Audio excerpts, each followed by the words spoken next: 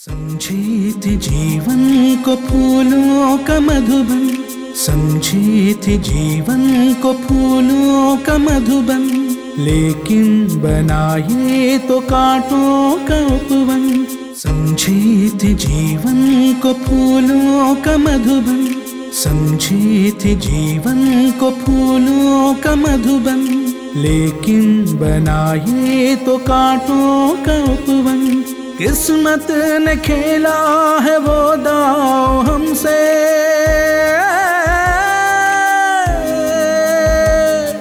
किस्मत ने खेला है वो दाव हमसे। सांस अपनी हो जैसे समर्पण। समर्पण समर्पण समर्पण समर्पण।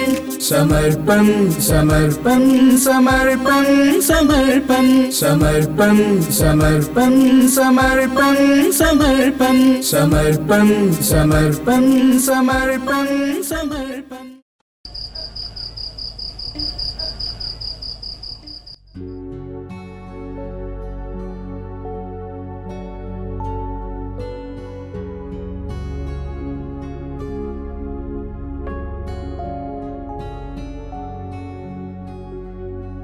रात के बारह बज के सोना नहीं है क्या? नजमा तुम जाओ मैं आता हूँ। अच्छा ठीक है। अच्छा दूध लाऊं गरम करके?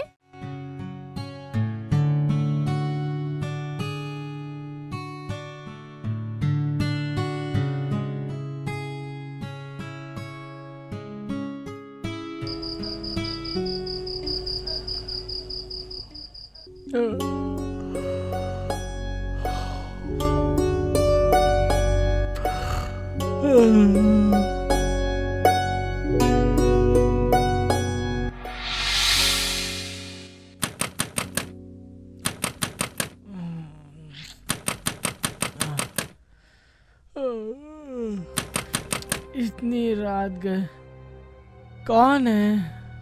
हम्म, कौन है भाई? कौन है?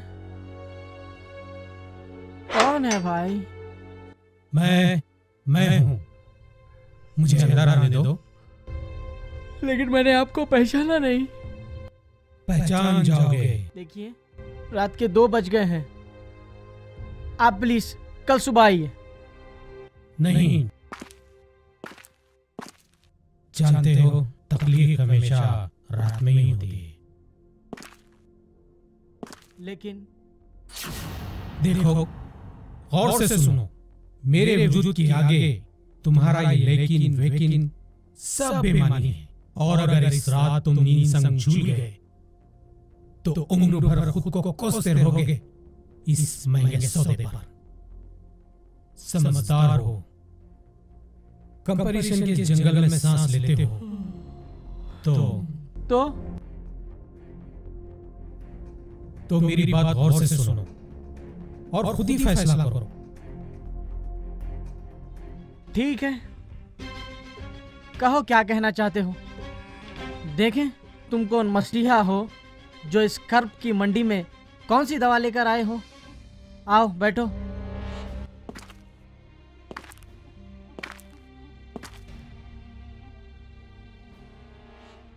वैसे एक बात कहूँ तुम्हारी शख्सियत जितनी गैर लगती है ना तुम्हारी बातें उतनी ही अपनी लगती है। इन्हें सुनकर ऐसा लगता है जैसे किसी पड़ोसी ने सलाम किया हो। और जब जब तुम मुझे पूरी तरह से जान जाओगे तो उम्र जितनी लंबी गुजारिश बिछा दोगे मेरे आगे। हाँ, ठीक है।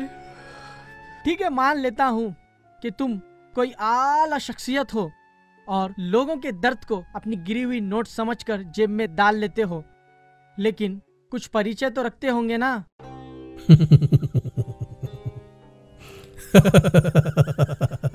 तुम हंस रहे हो?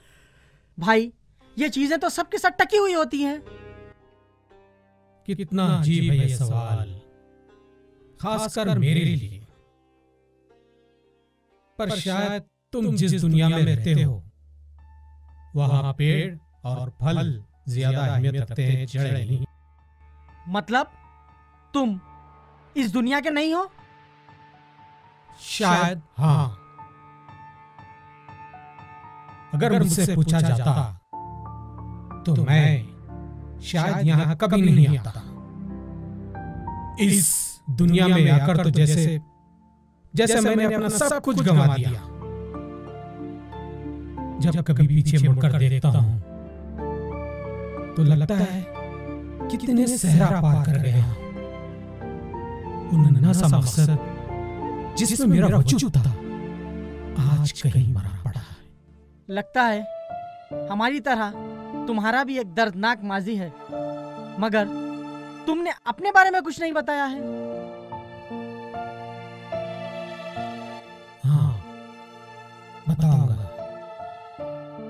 मगर सोच रहा हूँ कि जब मैं तुम्हें अपने बारे में बताऊँगा तो तुम यकीन करोगे या नहीं? क्यों? ऐसा नहीं कि मुझे तुम पर शक है पर तुम उस दुनिया से जुड़े हो जहाँ रिवायतें पूजी जाती हैं जहाँ हर इंसान अपने खोखले यकीन के एड़ियों के लिए सबूत का एक मज़बूत मुनेर चाहता है। अगर ऐसे में मैं तुमसे बिना किसी सेहतमंद सबूत के एक सच बोलने को कहूँ तो तुम्हारे लिए शायद वो सही न हाँ। मगर जब तुम आ ही गए हो तो कह दो जो कहना चाहते हो। कहो सोच क्या रहे हो? तो? ठीक है। सुनो। मैं पैसा हूँ। पैसा पैसा पैसा पैसा मैं पैसा पैसा हाँ हाँ सिर्फ़ मैं पैसा उफ। कितनी अजीब बातें करते हो तुम। क्या? पैसा ऐसा हो सकता है? क्यों नहीं हो सकता? हाँ? क्यों नहीं हो सकता? अरे, पैसे से मिलने के लिए तो लोग अंधेरों से उजालों तक चलकर जाते हैं। और अक्सर मुझ तक पहुँचने से पहले ही बचपन और जवानी दोनों खर्च कर बैठते हैं। और आज मैं किसी से मिलने आया हूँ तो इतना ताज्जुब क्यों? देखो आसिफ मैं तुम सब की बातें मानता रहता हूँ। तुम लोग तुम लोग हमेशा मुझे अपनी ख्वाहिशों और जरूरतों में नहलाते रहते हो। और अगर आज मैं तुमसे एक नन्हा यकीन मांग रहा हूँ। तो देने से इतना गुरेज करते हो। देखो अगर तुम्हारा यकीन कर भी लिया जाए ना ये जो तुम्हारा रूप है ना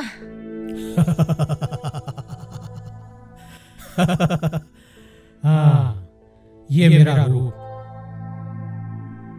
तुमने वो सांप वाली बात तो सुनी होगी। ना जब कोई सांप सौ बरस जी लेता है तो अपनी मर्ज़ी से जो रूप चाहे बदल सकता है। और फिर मैंने तो ऐसे कई सौ बरस जिए हैं तुम्हारी इस दुनिया में। ठीक है ठीक है चलो मान लेते हैं कि तुम पैसा ही हो। मगर ये मत समझना कि मुझे तुम पर पूरा यकीन आ गया है। अभी भी कई सारे अगर और मगर बाकी है। हाँ। मुझे मुझे मंजूर है। मेरे लिए कोई मुश्किल काम नहीं है। अच्छी तरह जानता हूँ। तुम मिडिल क्लास फैमिली के लोग। मेरे हर इस्तेमाल से पहले अपनी हर हरकत पर उन्हीं अल्फाज को मानते हो। तो बताओ तुम यहाँ क्यों आए हो और मुझसे क्या चाहते हो? दरअसल बात यह है आसिफ कि मुझे हर सौ साल के बाद एक मौका मिलता है कि मैं अपनी मर्ज़ी से जहाँ चाहूँ जाकर रहूँ और जिसे चाहूँ अपना मेजबान बना लूँ। इसीलिए इस बार मैंने तुम्हें अपना मेजबान चुना है। तुम्हारा ये तर्क भी बड़ा अजीब साबित हुआ। चलो मैं एक और यकीन बाँध लेता हूँ अपनी पेशानी से। मगर बड़ा अजीब है कि तुम इस नवाजिश के लिए मुझ जैसे मामूली एक मिडिल क्लास आदमी को चुन रहे हो जबकि ऐसे गली में कई आसिफ पड़े हैं। हाँ। हाँ जानता हूँ। मगर मैं मजबूर हूँ। क्योंकि तुम इंसानों की तरह मेरे पास भी सिर्फ़ दो आँखें ही हैं दिलासे के लिए। और तुम्हें चुनने का सबब ये भी है कि तुम इसके हकदार हो। मैं तुम्हें बरसों से जानता हूँ और जानता हूँ तुम्हारे अंदाज को जिसमें तुम मुझे छूने से पहले अपने उसूलों पर हाथ फिरा लेते हो। बिल्कुल स्कूल के उस नन्हे बच्चे की तरह जो रोज क्लासरूम में बैठकर एक ही अक्षर पर सैकड़ों बार हाथ फिराता है। अच्छा तो तुम उसूलों की बात कर कर मुझे कमज़ोर करने की कोशिश कर रहे हो? या मेरा मज़ाक उड़ा रहे हो?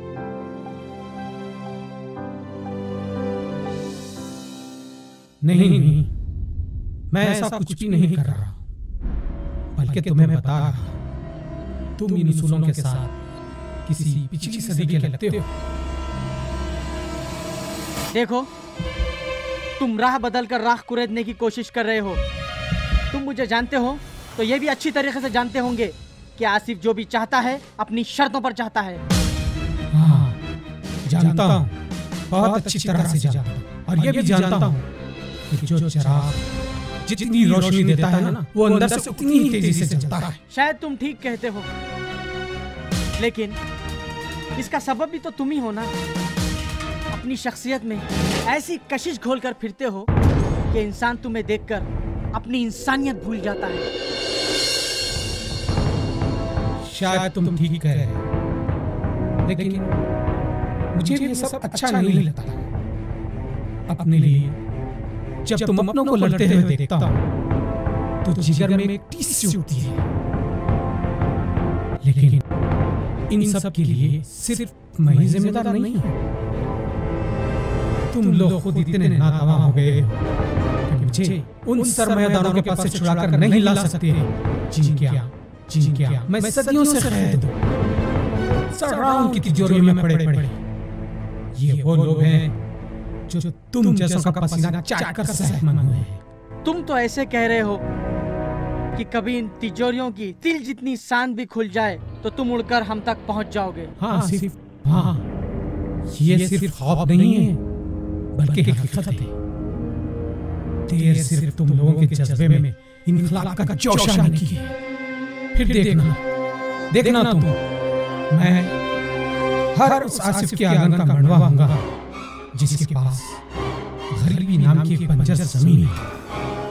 मैं तुम सबकी ज़िंदगी ऐसा सजाऊँगा। कि लगेगा जैसे अभी अभी एक सजी संवरी दुल्हन को घर आए हो यकीन नहीं आता कि कभी अपनी किस्मत की चादर भी गरीबी के पेबंद बिना होगी। देखो मज़ाक मत करो। पहले ही किस्मत हमसे बहुत ज़्यादा मज़ाक कर चुकी है। क्या तुम जो कह रहे हो वो सच है? अब और बर्दाश्त नहीं होता। नहीं आसिफ नहीं। ये ये मज़ाक नहीं है। बल्कि तुम्हारी घर की छत पर खिला चाँद है। उठाओ अपनी एड़ियाँ और छू लो इसे। मगर हाँ। मेरी मजबूरी का भी ख्याल रखना। मजबूरी? हाँ। मैं भी तुम इंसानों की तरह मजबूर हूँ। अरे अभी अभी तो तुम मरहम बांट रहे थे। और खुद जख्मी कैसे हो गए? दरअसल बात यह है आसिफ। क्या बात है? बात यह है कि मैं किसी नशा करने वाले की तरह एक नशे का गुलाम बन गया नशा? कैसा नशा? एक ओहदे का नशा। एक खास मुकाम का नशा। दरअसल पहले मैं इस ओहदे से नाआशना था। मगर तुम इंसानों ने मुझे ले जाकर वहाँ बिठा दिया। अब मेरा वहाँ से लौट कर आना बहुत मुश्किल है। अब तो ये मकाम मेरी हिस्सा बन चुका है। और अब मैं सिर्फ़ उसी इंसान के पास रह सकता हूँ जो मुझे ये ओहदा दे। क्या होना चाहते हो तुम? देखो आसिफ मैं सिर्फ़ इतना चाहता हूँ कि तुम तुम मेरे आगे अपना सर झुका दो। मुझे अपना खुदा मान लो। मुझे अपना खुदा मान लो। मुझे अपना खुदा मान लो। क्या बकवास कर रहे हो तुम? मैं तुमको अपना खुदा मान लूँ। चले जाओ तुम यहाँ से। जानते हो क्या कह रहे हो? देखो आसिफ। मैं जानता हूँ तुम्हें बहुत बुरा लगा। होगा लेकिन ये मेरी मजबूरी है। ख्वाहिश नहीं। देखो तुम यहाँ से चले जाओ। क्या समझते हो? तुम समझते हो कि हम लोग को यहाँ से ले जाओगे? आज भी तुम्हारी हैसियत हमारी नज़रों में एक गुलाम से बढ़कर और कुछ नहीं हम्म? देखो आसिफ तुम फिर वही अपनी पुरानी गलती दोहरा रहे हो। देखो ये रास्ता मुझ तक नहीं जाता नहीं चाहिए मुझे वो रास्ता। जिस पर कुछ कदम चलने के बाद आदमी के पैरों में मलाल की बेड़ियाँ पड़ जाती है। देखो आसिफ तुम्हारा ये नज़रिया तुम्हारे सारे उरुज को खा जाएगा। कुछ भी नहीं बचेगा। कुछ भी नहीं। अगर ज़ुबान से इकरार नहीं कर सकते तो कम से कम इशारा ही कर दो। तुम जाते हो या नहीं? चिल्लाओ मत मिस्टर आसिफ। चिल्लाओ मत। सोच लो। फिर एक बार अच्छी तरह सोच लो। किसी में इतना पसीना नहीं कि वो उसे टपका कर मुझसे गले मिल सके। लिसन मिस्टर पैसा। मैं तुम्हें आखिरी बार कह रहा हूँ यहाँ से चले जाओ वरना मैं तुम्हारा खून कर दूँगा। ठीक है। ठीक है मिस्टर आसिफ। आज तो मैं यहाँ से चला जाऊँगा। लेकिन मैं फिर आऊँगा। मैं फिर कोई आऊँगा। ज़रूरत नहीं आने की। ज़रूर आऊँगा। मैं फिर आऊँगा। किसी और रूप में आऊँगा। कोई ज़रूरत नहीं है आने की। आऊँगा। ज़रूरत नहीं है। कोई ज़रूरत नहीं आने की। क्या होगा? हाँ? क्या होगा ज़्यादा से ज़्यादा? अगर ज़रूरत पड़ी तो हम पेट काट कर पीठ को बाँध लेंगे लेकिन तुम्हें अपना खुदा कभी नहीं मानेंगे हर हरगिज नहीं मानेंगे बिल्कुल नहीं मानेंगे। कभी नहीं मानेंगे कभी नहीं मानेंगे नहीं मानेंगे बिल्कुल नहीं मानेंगे कभी नहीं मानेंगे नहीं मानेंगे नहीं मानेंगे तुम्हें अपना खुदा नहीं मानेंगे। आसिफ? आसिफ? आसिफ? आसिफ? आसिफ? आसिफ क्या हुआ तुम्हें? अभी तो ऑफ़िस का कुछ काम कर रहे थे ना? अचानक से क्या हो गया? आसिफ? आसिफ मैं यहाँ हूँ। क्या देख रहे? यहाँ वहाँ क्या देख रहे? मैं यहाँ पर हूँ आसिफ। पैसा? लगता है आपकी तबीयत खराब है। चलकर बेडरूम में रेस्ट कर लो। पैसा? पैसा? आसिफ? लगता है तबीयत खराब है इनकी। आप बेडरूम में चलो। पैसा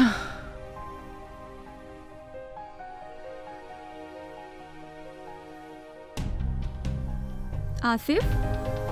आसिफ मैं यहाँ हूँ क्या हुआ?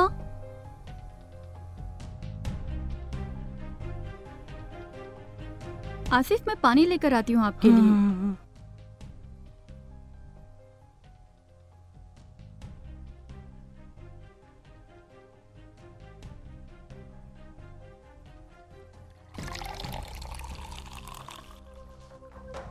आसिफ पानी।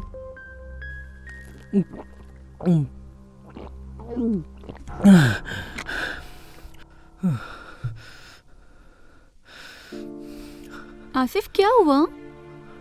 पैसा। पैसा? तुमने कुछ ख्वाब देखा क्या? हाँ नजमा। शायद वो ख्वाब ही था। अच्छा अच्छा मेरी बात सुनो। पैसा नजमा। प, प, पैसा। अच्छा इस बारे में हम कल बात करेंगे अभी तुम सो जाओ।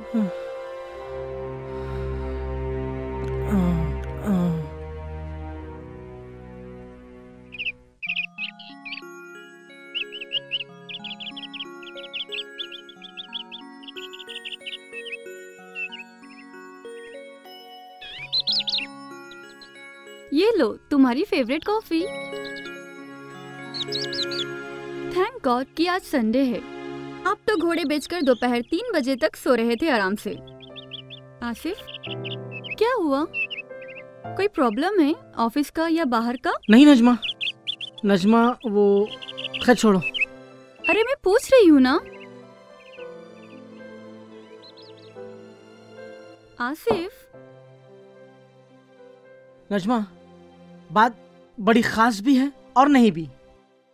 ठीक है तो फिर नहीं अपने पास रख लो और हाँ मुझे सुना दो।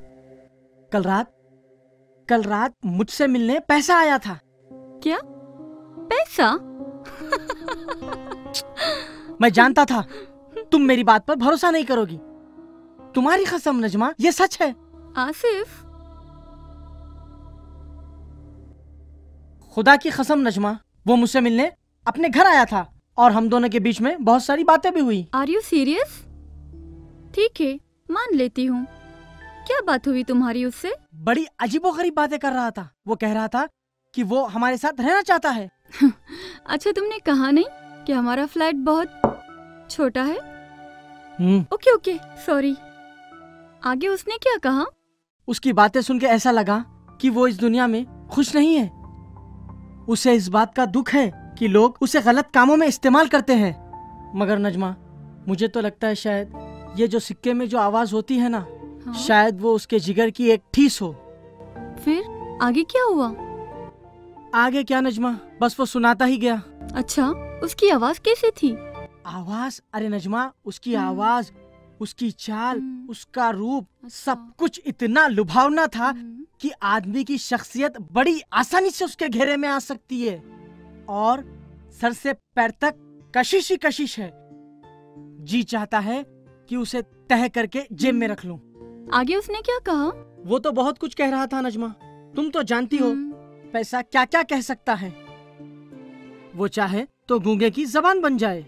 लेकिन बातों बातों में उसने मुझसे ऐसा कुछ कह दिया कि मुझसे बर्दाश्त नहीं हुआ और फिर मैंने उससे झगड़ा कर लिया। झगड़ा? उफ खौफ में भी तुम पैसे से झगड़ते रहे। कम से कम उसे वहाँ तो बटोर लेते। जाने कैसे आदमी हो तुम? अब मैं जैसा हूँ सो हूँ नजमा। तुम तो जानती हो कि मैं अपने उसूलों को गिरवी नहीं रख सकता। मेरे लिए खुद को दफन करके सांस लेना बहुत मुश्किल है। हाँ आसिफ जानती हूँ और तुम्हारे उसूलों की इज़्ज़त भी करती हूँ। लेकिन एक बात कहूँ आजकल के दौर में जहाँ लोग रॉकेट में सफ़र कर रहे हैं हम बैलगाड़ी तो नहीं चुन सकते ना? मगर नजमा मैं जब कभी तुम्हें देखता हूँ तो जिगर में एक ठीस सी उठती है। जी चाहता है, मैं तुम्हारे ख्वाबों को सजा दूँ। तुम्हारे पलकों पर सांस लेते हर उस ख्वाब को ताबीर का एक ऐसा जजीरा दूँ, जहाँ वो पूरी बेफिक्र से उछल कूद सके। मगर नहीं, नजमा, ये जो हकीकत का पेड़ है ना, उस पर ख्वाहिशों के फल नहीं आते। आसिफ, ये उदास मत हो।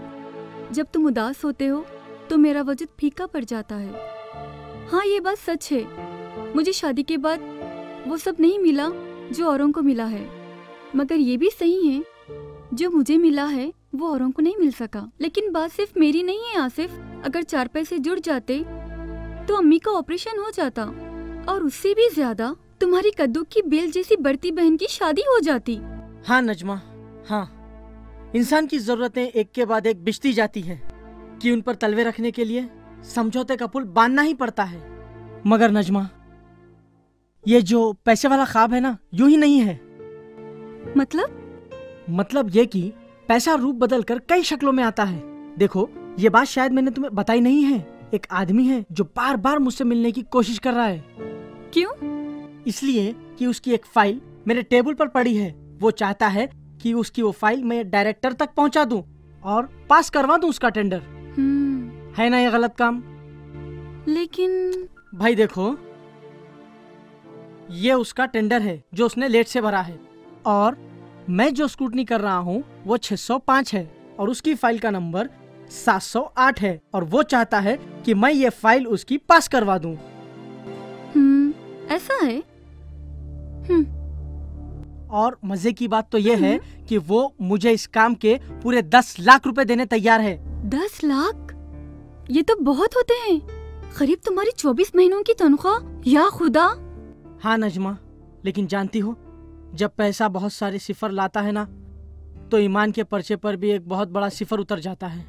और एक बात नजमा रिश्वत को चैन से बैठकर निगला या चबाया भी तो नहीं जा सकता ना। उसे तो जानों को मोड़कर घुटनों को टेक कर चाटना पड़ता है। फिर तुमने उस आदमी को क्या जवाब दिया? किसे? खन्ना को? हम्म। कुछ नहीं। मगर वो है कि मेरा पीछा छोड़ ही नहीं रहा। सोच रहा हूँ कि अब की बार क्या ही डालूं। और वैसे भी दो दिन में टेंडर ऑक्शन होने वाला है। मुझे तो लगता है कि अब उसका काम ही नहीं बनेगा। वैसे भी नजमा तुम जानती हो मेरी कमज़ोरी क्या है? क्या? डर। डर? हाँ नजमा डर। डर इस दुनिया की बुनियाद है। हम सबको हमेशा कोई ना कोई डर लगा रहता है।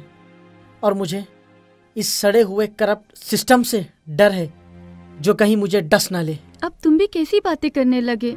अगर पैसे लेना नहीं चाहते तो कह दो साफ़ साफ़ वो कोई और दर खटखटा लेगा हाँ नजमा। अब जिस चीज़ को मेरी एक आँख गलत तो दूसरी आँख सही तो नहीं कह सकती ना। लेकिन इस धूप छांव के खेल में तुम मेरे साथ हो ना नजमा? हाँ आसिफ मैं हमेशा तुम्हारे साथ हूँ। याद है एक सुनहरी शाम, जब हम टैंगमन की बेंच पर बैठकर अपना मुस्तकबिल बुन रहे थे तो तुमने कहा था कि नजमा, पैसा सब कुछ है, मगर तुमने ये भी कहा था कि ये भी सच है कि पैसा कुछ नहीं है। हाँ नजमा, याद है, सब कुछ याद है। ये जो माजी नाम का किराएदार है ना, दिल का कमरा छोड़ने को तैयार ही नहीं होता।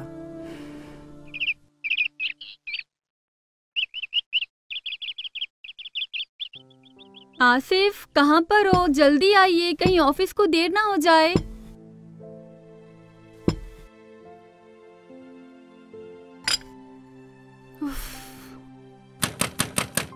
कौन?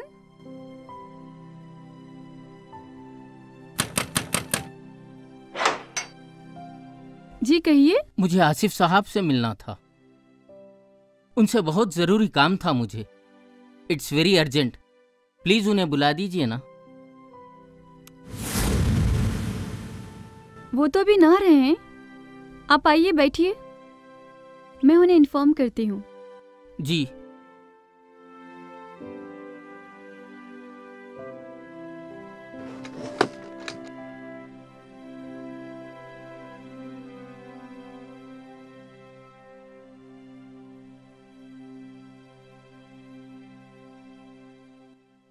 नजमा टाई कहाँ पर है मेरी? वही तो रखी है कबर्ड में। अच्छा। नजमा हाँ? मुझे ऑफ़िस को लेट हो रहा है। तुम एक काम करो मेरा नाश्ता पैक कर दो। अच्छा सुनो आपसे मिलने कोई आया है? मुझसे? हाँ। और वो भी इस वक्त? तुम जानती हो ना नजमा सुबह का वक्त कितना टाइट शेड्यूल होता है। ओफो। फ़ोन को भी इस वक्त आना था। अच्छा तुम उसे निपटा लो फ़ोन में रिसीव करती हूँ। अच्छा। गुड मॉर्निंग आसिफ साहब। तुम? तुम यहाँ भी चले आए? क्या करें आसिफ साहब? आप ऑफ़िस में तो मिलते नहीं इसीलिए मैं यहाँ चला आया ताकि मामला यहाँ पर सेट हो जाए। देखो। आसिफ साहब आप नाराज़ मत होइए मैं आपके सिर्फ़ पाँच मिनट लूँगा। मैं ये कहना चाहता हूँ कि मुझे ये सब कहने मैंने से कोई मतलब नहीं। समझे मिस्टर खन्ना? आप समझ नहीं रहे हैं आसिफ साहब। मैं सब समझता हूँ मिस्टर खन्ना। और मैं तुमसे फिर कह रहा हूँ मैं ये तुम्हारा इलीगल काम कभी नहीं करूँगा। मैं आपको इसकी एक बहुत बड़ी रकम दे रहा हूँ आसिफ साहब। नहीं चाहिए मुझे ये रिश्वत की बड़ी रकम। आप प्लीज़ मुझे माफ़ करिए। सोच लीजिए आसिफ साहब। किस्मत यूँ बार बार किसी के दरवाजे पर दस्तक नहीं देती। दस लाख रुपए कैश कोई मामूली रकम नहीं होती आसिफ साहब। आप कुछ नहीं से बहुत कुछ बन जाएँगे। खन्ना तुम मेरे घर में हो इसीलिए मैं तुमसे इज़्ज़त से बात कर रहा हूँ। चले जाओ यहाँ से। सोच लीजिए आसिफ साहब मुझे लगता है कि आप जल्दबाजी में कोई गलत फैसला कर रहे हैं। मैं आपको सोचने का एक और मौका देता हूँ। इस वक्त साढ़े नौ बज रहे हैं। दस बजे तक मैं आपके सेलर की पार्किंग में इंतज़ार करूँगा। आप मुझे अपना फाइनल डिसीज़न बता दीजिए। आगे आपका नसीब। सुनिए? क्या हुआ? किसका फ़ोन था? वो अलीगढ़ से फ़ोन आया था अमीना के होने वाले ससुर अजीम साहब का। क्या कहा उन्होंने? सब ठीक तो है ना? हाँ सब ठीक है। वो कल हैदराबाद आ रहे हैं। उनकी फैमिली की कोई इमरजेंसी है। और वो अपने बेटे की शादी पंद्रह दिनों में करना चाहते हैं। क्या? आमिना की शादी?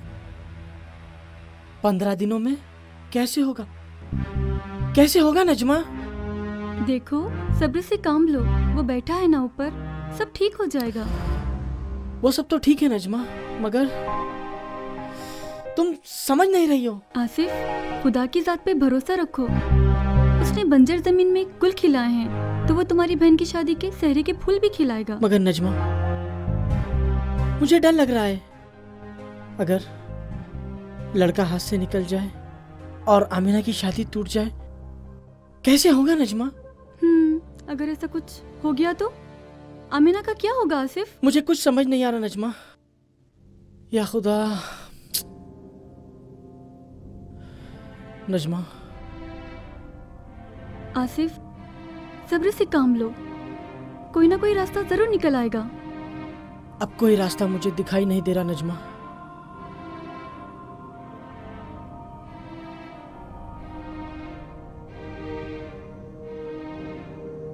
एक रास्ता है। एक रास्ता? एक रास्ता है नजमा। कौन सा रास्ता? तुम। तुम जल्दी से जाओ। जाकर देखो कि खन्ना है या चला गया।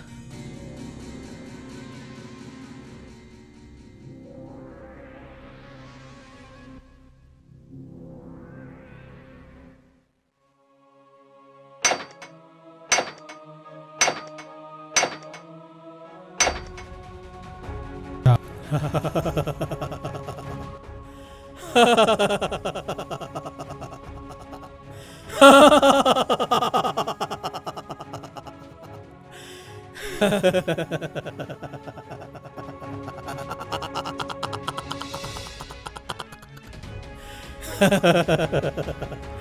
ha ha.